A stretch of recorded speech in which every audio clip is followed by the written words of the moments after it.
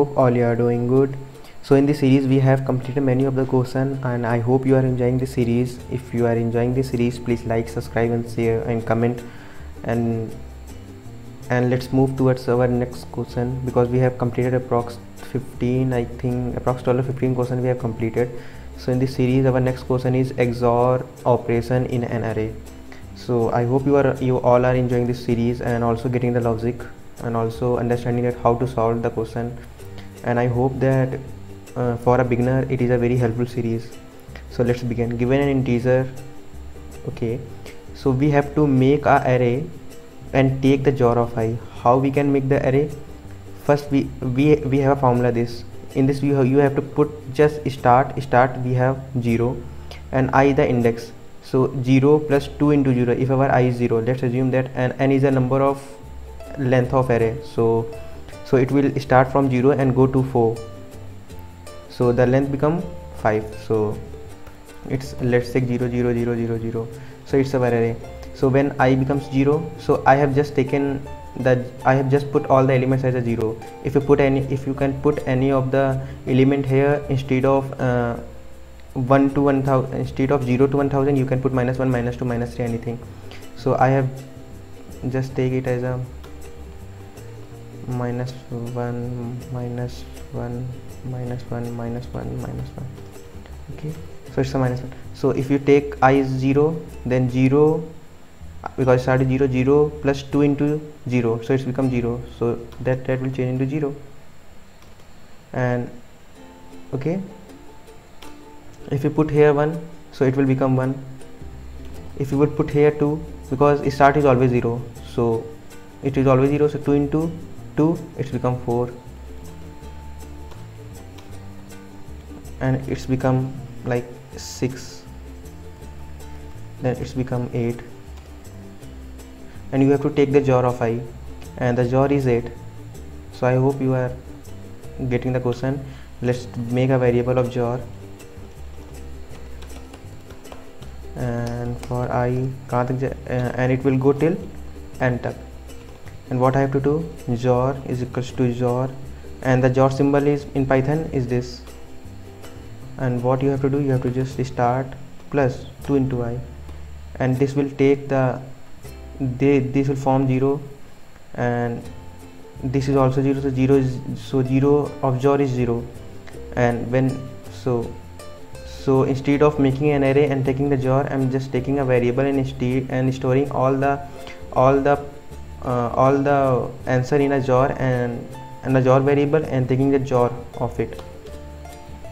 Return of XOR.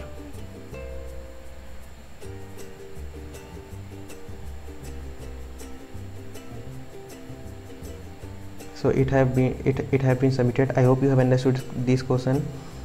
And if you are if you are feeling that what i have done here so just pick one just pick copy and pen and instead of first making this array and then taking the XOR and also execute simultaneously with this uh, this line as well. So i hope if you have done the um, maths so i hope you are clear with this concept or you have done the XOR gate or the NOR gate in physics. I hope you have also got the logic that what I have applied here okay so let's move towards our next question. So if you are new to this channel please like and subscribe. Please comment as well. Don't forget to comment. And i hope that you are enjoying the series. If you are enjoying go ahead. And i have also told you that i have solved this question as well previously but for you i'm solving it again so that you can get the logic and learn that how to solve the question okay? So our next question is range bst range sum bst and what i have to tell we have what i have to do i have a low and a high. I have to count 7 and 15 i have I, I, have to count the number of element which are between which are between the 7 and 15 and also 7 15 means we have to include 7 and 15 as well. So inclusive it is an inclusive it's an inclusive range. So means this 7 15 and 10 so these are the three elements which are between the 7 and 15 and also we have to include 7 and 15 as well. So i hope that you you know that what is binary search tree. It's a um, in a binary search tree the left side of it is less than 10 and the right so the right side of it is greater than 10 and so let's and it is a recursion problem. I hope that you are familiar with the recursion. So if you if you are not so let's do it. So i'm making a variable that let's take as a variable as range range sum and take one variable as a root. And I have take I have also taking a non-local variable means sum in which I am storing this this variable sum.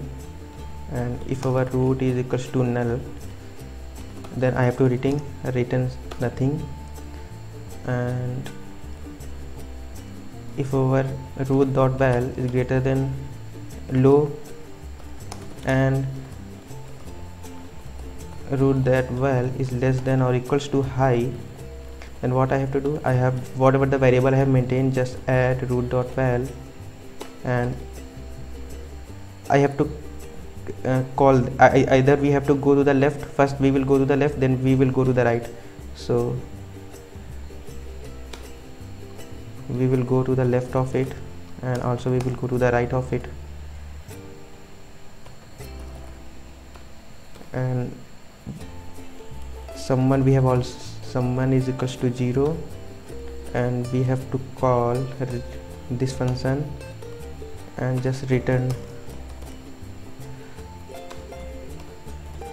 So first I have maintain a first I have make a function in which I am passing this root root, root is 10 so it will go here and it will check that root is none none, means if there is nothing means means uh, the left of is the left of 3 is nothing means it's a none so it will check that it's none no it's a 10 okay? So it will say that root of val means it will it will it will fetch the value. 10 is greater than 7 or 10 is less than 15 yes. So let's add it.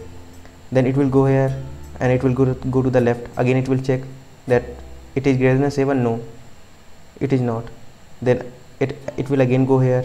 It will again check. So in this manner first it will go go go and check. Then it will return back because we because I have also applied the you have to go the, to the right of it so when it will backtrack it will go to the right then again it will go then it will follow the same path which uh, in which path he have he have reached to the end so it will go again go then then it will go to the left then it will go to the right and it will check no it will go to the right then it will go to the left it will check because I have put the left first condition so it will go to the left. Because in this case in when we we are traversing then then first it will go to the left. So when it will traverse all the all the element then there is one remaining condition that it have it has to traverse to the right of it as well. So it will go to the right then it will go to the left. There is nothing. Then it will come back. It will go to the right. It, it will check this condition. If it is okay then it will go to the left then it will come back. Then it will go to the right. Then it will come back. Then it will follow the same path in which it has been reached to the end. So let's submit it. So it's a very uh, simple approach. So if you are a little bit familiar with the recursion i hope you have understood. You you will get the concept if you are a little bit familiar with the recursion. So i hope guys that you have understood. Please like subscribe and comment as well. Thank you guys thank you. I hope you are enjoying the series. I will meet in the next video. Thank you guys. Bye bye see you and take care. Bye guys